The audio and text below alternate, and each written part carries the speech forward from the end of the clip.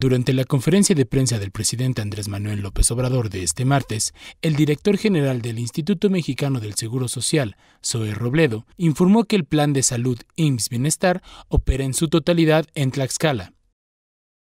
en el caso de Tlaxcala, por favor, la siguiente, tenemos también ya presencia en 10 hospitales y 195 centros de salud, donde está cubierta al 95% la necesidad de médicos especialistas, en médicos generales y personal de enfermería al 87%.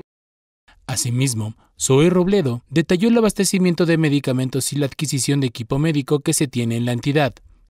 y avanzando también en el proceso de equipamiento, de adquisición de equipos por 2.855 equipos eh, que equivalen a 66.4 millones de pesos para el primer nivel y 1.351 piezas de equipo para el segundo nivel de atención por un monto de 229 millones de, pesos. En el abasto estamos eh, en 93% de recetas surtidas la última semana. El director general dio a conocer la convocatoria internacional 2022, dirigida a médicos y médicas especialistas.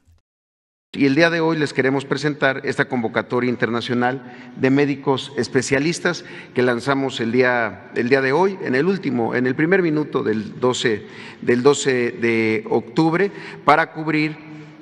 249 eh, vacantes en 43 especialidades en 54 hospitales del país que están en 13 entidades. Es una convocatoria internacional, es decir, esta la estamos lanzando para médicos, médicas especialistas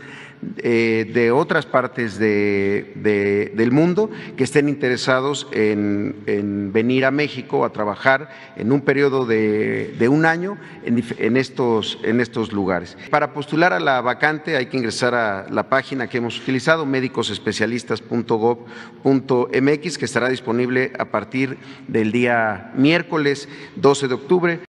Con información de la redacción, ahora noticias.